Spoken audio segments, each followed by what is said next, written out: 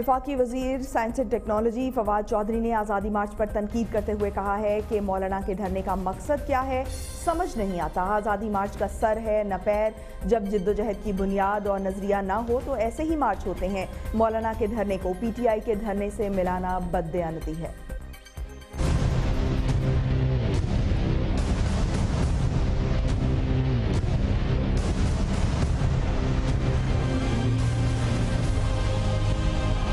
وفاقی وزیر برائے سائنس و ٹیکنالوجی فواد چودھری کے فضل الرحمان کی آزادی مارچ پر ایک بار پھر تنقید کے نشتر۔ کہا ہے کہ مولانا صاحب تو انتخابات میں بھی مشکل سے چھ سیٹیں جیتے ہیں۔ دھرنے کا مقصد کیا ہے سمجھ نہیں آتا۔ وفاقی وزیر کا کہنا تھا کہ جب جد و جہد کی بنیاد اور نظریہ نہ ہو تو جے یو آئی جیسے مارچ ہوتے ہیں۔ مخصوص طبقہ مفادات کے لیے ملکی مفاد پسے پشت ڈال دے تو مقبولیت نہیں ملتی۔